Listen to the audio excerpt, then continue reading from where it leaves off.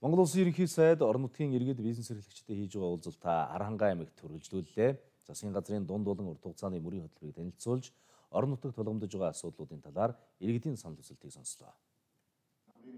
Монгол улсын нэг хүнд ногдох дотоодын нийт бүтээгдэхүүн өнөөдрийн байдлаар 5000 Америк доллар байна. Үүнийг 2030 он гэхэд 12000 долларт хүргэх боломжтой гэж засгийн газраас үзэж байна. Ингэхдээ авилга хүнд суртлыг бууруулах, үйлдвэр хөрөнгө оруулалтыг дэмжих бодлого баримталж байгаагаа засгийн газрын тэргүүн онцлоо. Мянганы замын дараагийн одоо том өсрэлт гэсэн үг. Аймагуд хоорондоо холбогдно гэсэн. Аймагуд хоорондоо холбогдно. А мөн боомтууд хоорондоо холбогдно гэсэн. Нэг үрээл Архангай аймаг залгаа байгаа аймагуд руугаа одоо бараа бүтээгдэхүүнээ экспортлох, дотоодын нийт бүтээгдэхүүнээ өсгөх юм одоо боломжийг бид нар дид бүтцийн хувьд шийдэж байгаа гэсэн үг.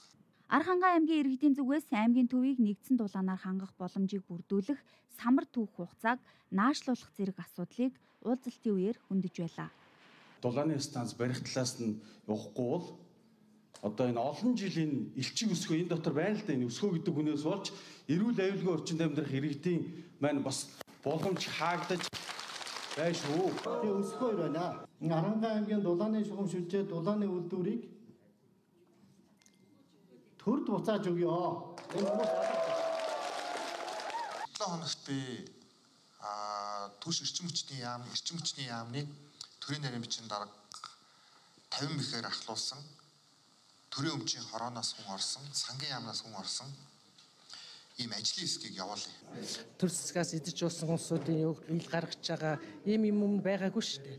Энийг одоо энэ засгийн тэргүүн их сайн гаргаж байгаа. Энд бид нар бас талархалтай. Яг өнөөдөр бол энэ самрын юу хуулийг өөрчлөмөр байна.